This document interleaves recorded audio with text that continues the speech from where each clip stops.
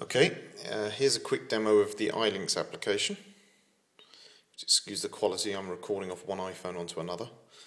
Um, as you can see, um, it's completely automatic in scanning for the rooms using multicast.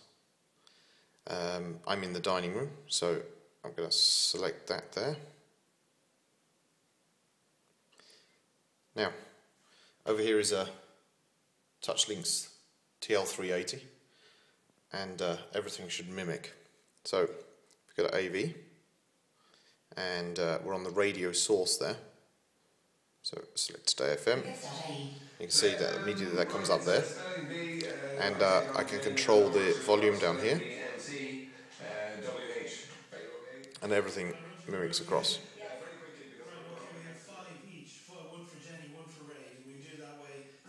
Select a different source. We'll go to uh, my playlist. See what's doing over here. And uh, we'll go to artists. Uh, who will we select? Let's go for Aerosmith. It's right there. And uh, select the album. And we'll shuffle that up a bit. You can see here that it's playing that track. Again, we can go into the AV settings, change all those things there.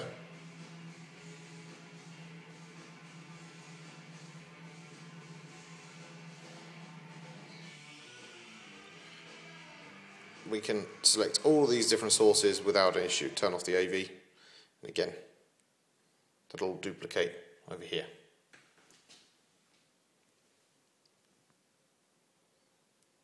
Now, cameras, all integrated. You can see that there's a car outside. The cool thing is, is if we do this, gives us a nice full screen.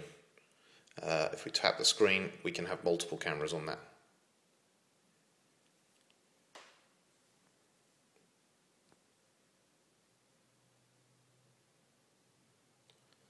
Um, one step or favorites, I just renamed that to one step on our system. Um, everything that is over here on the favorites one step screen, there they are, they all duplicate to here.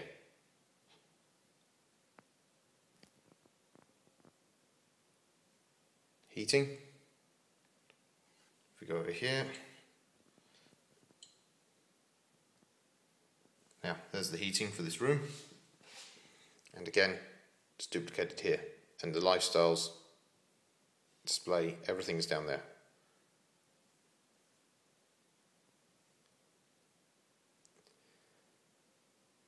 One new feature that's coming out shortly, I don't know if it's out yet, but it will be shortly, is timed events. Um, this is a licensed uh, add-on uh, to the product and it requires a, a dedicated control links. Um, but these timed events are essentially uh, wake up calls or macros or sleep timers. And uh, it's as easy as going into add, you select the action. Now I don't have any macros enabled here, but I can set an alarm. There's an alarm. And uh, we select the room we want to do that in. So let's go for the bathroom and we select the source we want. So we'll select the radio and you set the volume you want that to be at and back. Uh, see that's the alarm. You can select, set it to repeat on whichever days you want. Just do those two. And uh, we select, we can put a timer on and set the time. So we'll say 1356. Save that. That adds that to that list. And now that alarm will happen. You can turn on and off those alarms as needed. Um, and that's it.